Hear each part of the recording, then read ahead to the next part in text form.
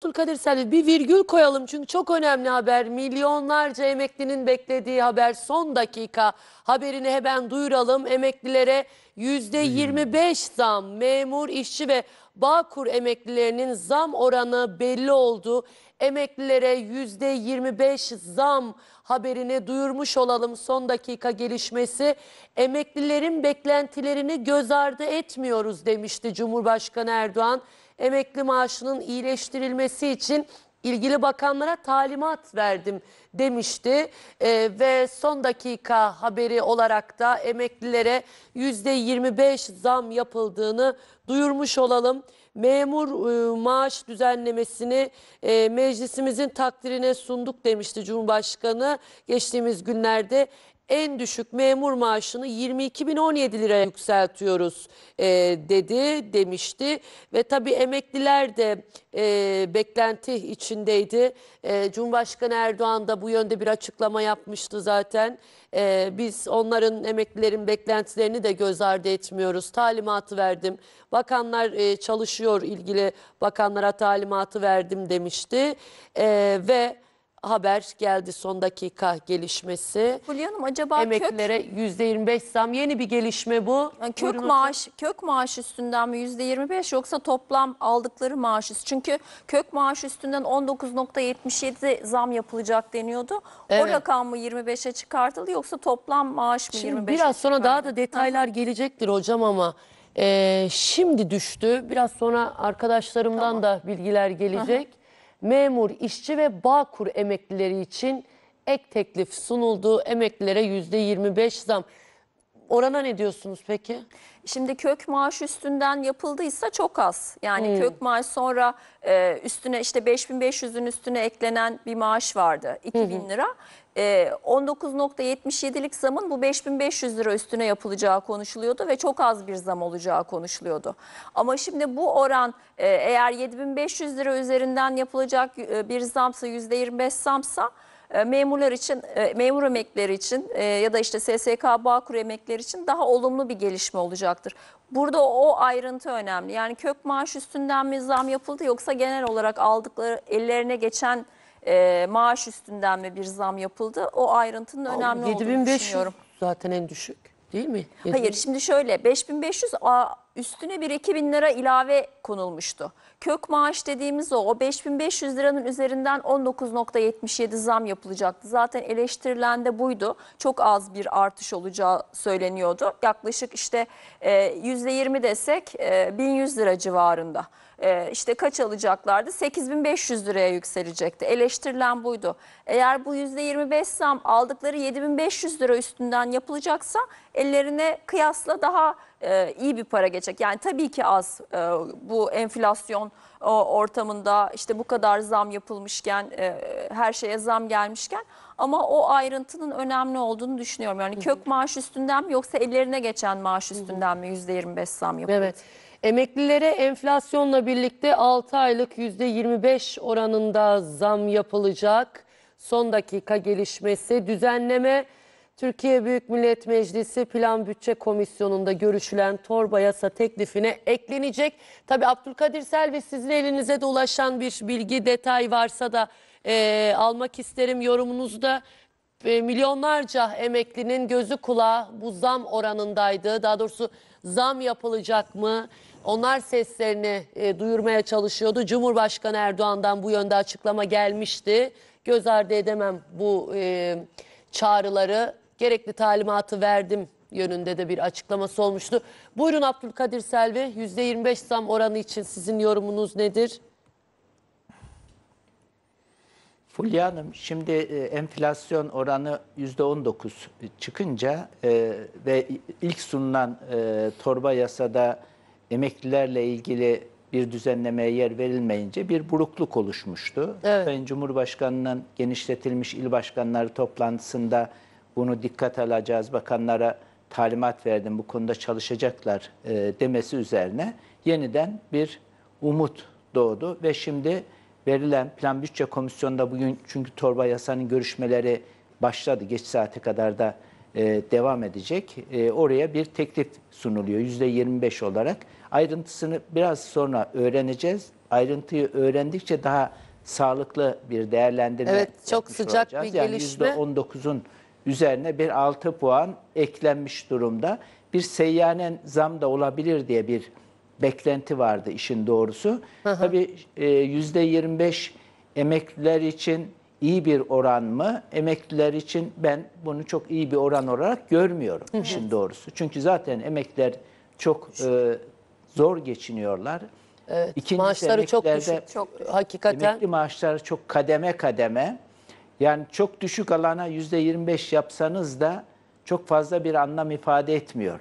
Biraz daha yüksek alan için yüzde 25 bir anlam ifade eder ama düşük alanlar için yüzde mutlaka bir seyyanen zamla desteklenmesinde yarar vardı. Zaten memurlara da hani Cumhurbaşkanı 22 bin lira hem sözünü tutmuş oldu hem de yüzde 85 oranında artış var. Bir kısmında yüzde 70 oranında artışlar var. Yani onlara, çalışanlara bu yapılırken e, yüzde 25 artış iyi ama biraz daha desteklenmesinde yani seyyanen bir artış yapılmasında ben fayda görürdüm işin doğrusu. Fulya Hanım, Buyurun hocam. Fulya Hanım. Buyurun. Şimdi e, bu sabah bu sabah böyle hakikaten e, uyandığımızda farklı bir e, zam e, yağmuruyla karşılaştık. Vergilerdeki artışlar biliyorsunuz. KDV'ler te, e, iğneden ipliğe yani temizlik tuvalet kağıdından diş macununa. E, gıdaya baktığınız zaman o da öyle.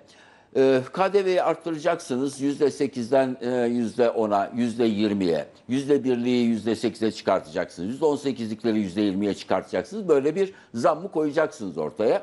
Tüm harçlara %50 yapacaksınız zammı. Tüm harçlar %50 olacak. Sonra emekliye %25 e, zam yapıl- yapılacak. Şimdi e, kök e, maaşa mı zam yapılacak e, e, yoksa alınan ücrete mi? Elbette önemli. Artık öyle bir noktadayız ki 200-300 liranın bile peşinde insanlar. Ama ne, diyelim normal alınan ücrete zam yapıldı. 7500 lira. Zaten o 7500 lira e, asgari eme- emeklerin asgari aldığı para. Bundan daha düşüğü yok. E, dul ve yetimler hariç. Onlar 5625 lira alıyor galiba. Çok emin değilim rakamdan ama bir aylık düşük. Şimdi 7500 liraya %25 zam yapsanız hadi kökü bıraktık kendisine yaptık zammı 75 eder 9500 lira para hatta 9500 bile etmiyor. Asgari ücret kaç lira? 11400 lira. Hani bozdur bozdur harca kardeşim. Ee, memura e, 20 %85 zam yapıldı. En düşük memur 22 bin lira. Eyvallah aldık kabul ettik. Ya bu emeklisi asgari ücretlisi ya da e, memuru memuru aynı markete gitmiyor mu? Aynı yumurtayı almıyor mu? Aynı domatesi, aynı biberi almıyor mu? Neden 7500 liralık maaş 8500 liraya çıkıyor? O 8500 lira olan 9500 lira olan emekli pazara gidip domates almıyor mu?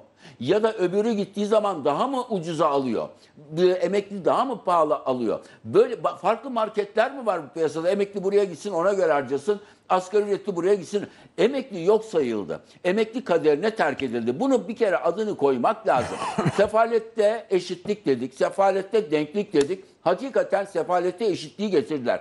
Emekli ya emekli al, al yani hakikaten söyleyecek laf yok. Asgari ücret 11.400 lira. 11.400 liranın altında asgari ya asgari. Asgari. Hem 11.400 lira. Hani o bile yetmiyor da emeklinin ne suçu var? Emekli bu ülkenin vatandaşı değil mi?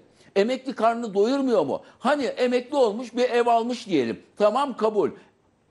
Birçok emekli hala kirada. Maalesef kirada ama hadi evini aldığını varsayalım. Ya bu adam ne yiyecek, ne içecek? Etin kilosu olmuş 500-600 lira. Kasabına göre değişiyor, marketine göre değişiyor. Ayda bir kere bir kilo et yiyebilir mi, yiyemez mi? Bunu niye düşünmeyeceksiniz? Neden emekliyi bu kadar kendi haline bıraktınız? Özellikle büyük Neden şehirde tabii çok daha peşinden, zor e, şartlar. Kiralar da yani Kiralar bunu- daha bunu fazla. anlamak mümkün değil.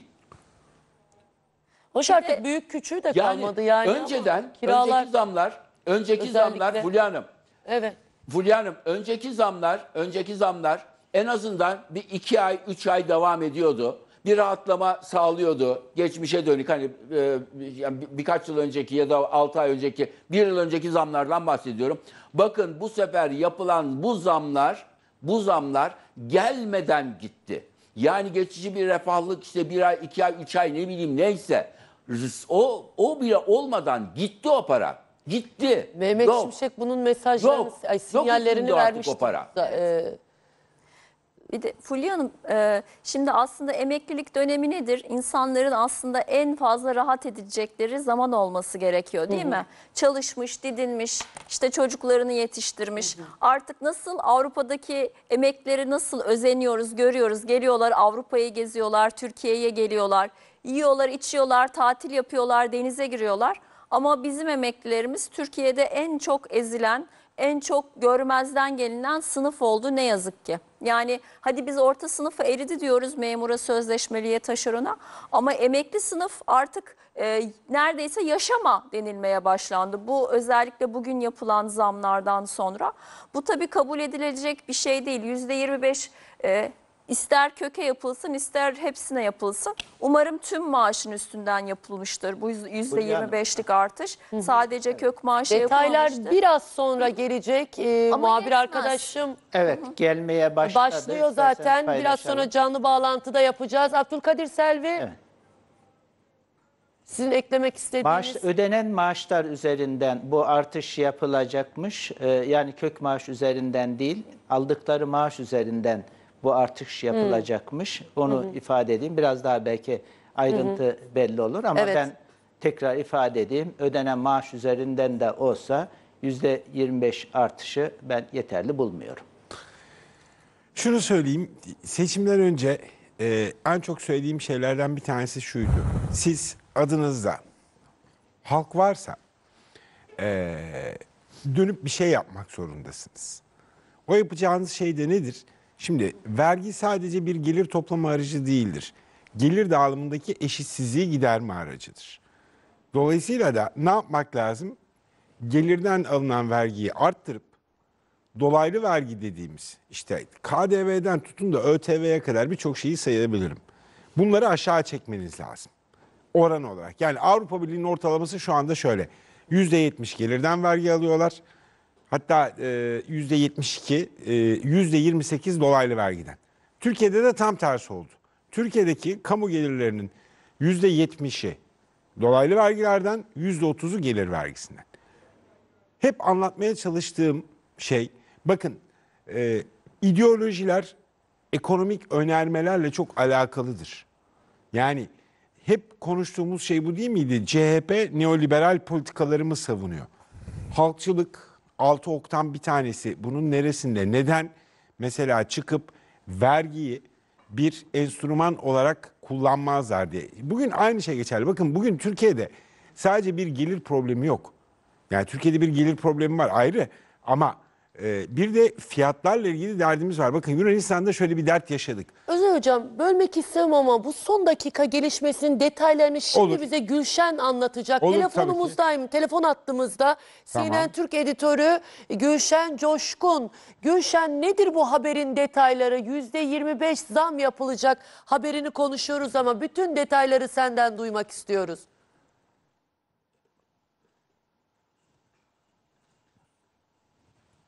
Hatta mı arkadaşlar Gülşen? Evet yeni bir haber, sıcak bir gelişme.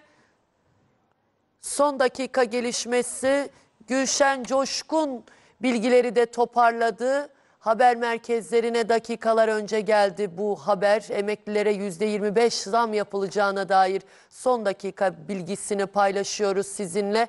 Çok taze, çok yeni bir haber olduğu için bir yandan yeni bilgileri de toparlayıp size sunmak istiyoruz. Gülşen Coşkun e, bilgileri toparladı. Şimdi kendisinden dinleyeceğiz, duyacağız. Telefon hattımızda olacak biraz sonra. CNN Türk editörü Gülşen Coşkun hatta mı arkadaşlar şu an? Evet Fulya ben seni duyuyorum. Evet sevgili? Gülşen seni dinliyoruz. Tüm merakla bekleniyordu. Ee, artık netleşmiş oldu diyebiliriz. Bir teklif var. Söz konusu o de %25 yani şöyle emeklilere ödenen aylıkların %25 oranında artırılması sağlanacak. Bu e, önerge teklife eklenecek ve bu teklifle birlikte geçmiş olacak.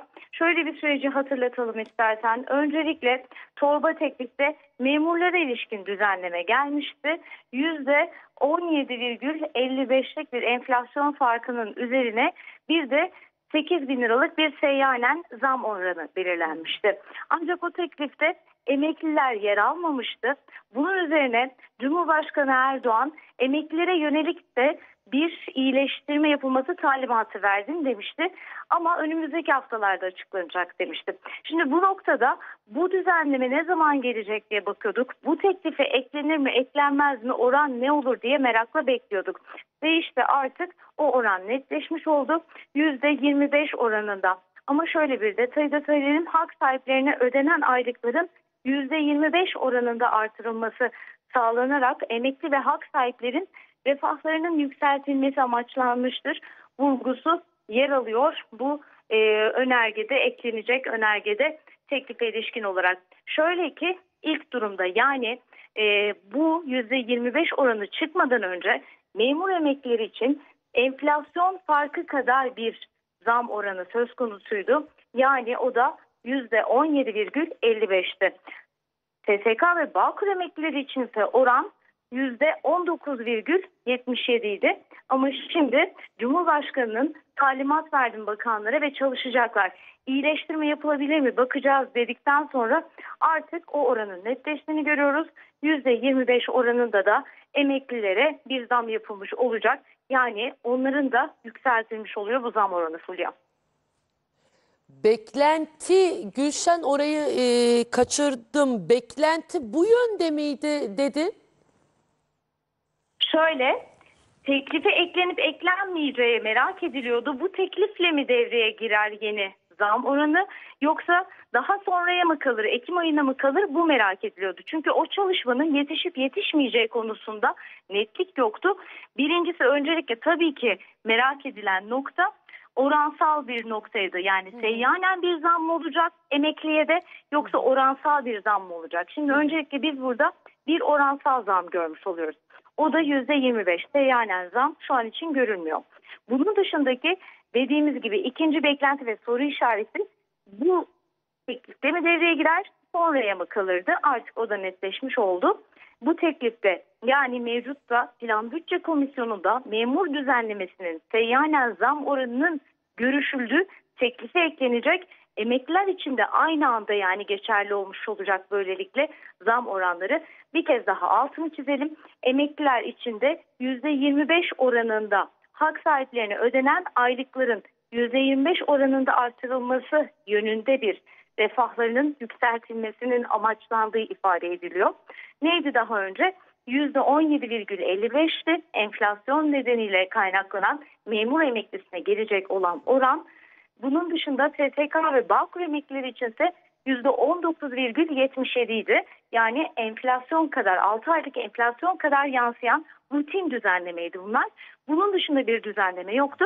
Şimdi yeni düzenlemeyle birlikte bu fark da kalkmış oldu. Emekliler için %25'lik bir zam oranı söz konusu şu an için. E, bu teklife eklenecek, görüşülecek. Kabulünden sonra artık devreye girmiş olacak. Tabii bir de genel kurul aşaması var. Şimdilik Plan Bütçe Komisyonu'nda görüşülüyor. Bu maddeler önergeye ekleniyor. Önergeyle ekleniyor teklife. Sonra görüşülüyor. Daha sonra genel kurul gelecek. Sonra Şimdi 7500 liranın %25'i 1875 lira ediyor. Şimdi en düşük emekli maaşı 9375 lira mı oldu? Bu mu demek oluyor? Şimdi Şimdi normal bir matematik hesabı da evet aynen. yapıyoruz bir yandan. En düşük emekli maaşı eğer Evet bu- öyle oldu Fulya Değil mi? 9375 lira. Yani 3 lira 5 lira 9375 lira oynayabilir. Yani oldu. kaba bir hesap yaptık burada. Aha. 9375 lira. Fulya Hanım şu önemliydi. Gülşen Coşkun ona değindi. Bir cümleyle e, geçmemek gerekiyor. Bu teklife mi eklenecekti yoksa daha sonra mı bu Evet. çalışma yapılacaktı? Şu açıdan önemliydi. Biliyorsunuz emekliler 17-24 tarihlerinde maaş alıyorlar. Memurlar 15'inde alıyorlar. Bu alıyorlar ama bunların bodroların hazırlanması daha önceden yapılıyor. Böylece bu teklifle birlikte geçtiğinde e, emeklilerin alacakları e, maaşlar bordrolarına yetiştirilmiş olacak. Zamlı maaşlarını alabilecekler. Daha sonra bir değerlendirme olsaydı belki zamlı maaşlarını daha sonra ilave olarak alacakları da o da bu teklife yetiştirilmesi o açıdan önemli bir nokta.